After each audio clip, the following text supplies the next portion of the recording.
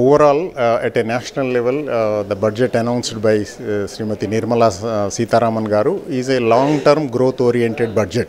Like we can think of lot of impetus is given for digitalization and technology interfacing, banking, um, and the funds have been allotted in terms of infrastructure and particularly PM Gati Shakti, which is encompassing almost seven sectors of different modes of tran- transportation and logistics, is a big boost for the over long-term economy.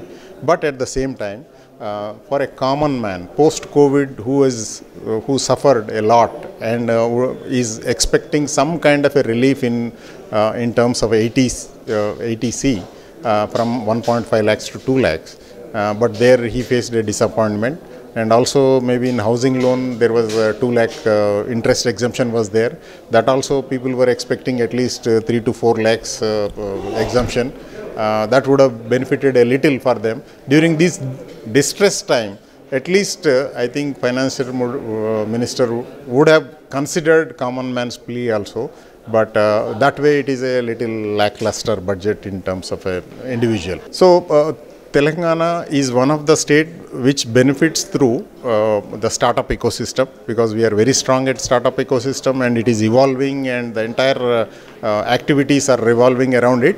And in national budget a lot has been uh, allotted or directed towards uh, the, the environment of uh, startup eco whether it is a agri-tech or uh, uh, drone technology or uh, the, the startup ecosystem itself. A lot of measures has been given and digitalization has been announced and even banking also a lot of measures have been given to make it more digitalized. So all these measures will definitely help uh, telangana uh, startup ecosystem.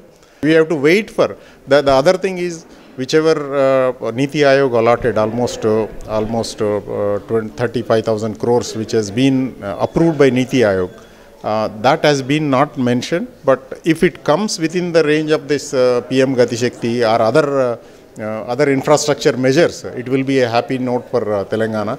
But otherwise, uh, there is uh, nothing much to cheer for the state of Telangana.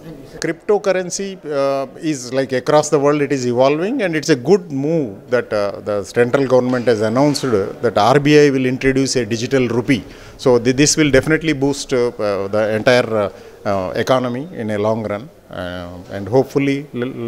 Let us see like uh, how it evolves into. No make in india i think uh, uh, that is uh, one of the uh, major sectors uh, uh, which they have, they are giving impetus. With this uh, almost 6 million jobs will be created across the country.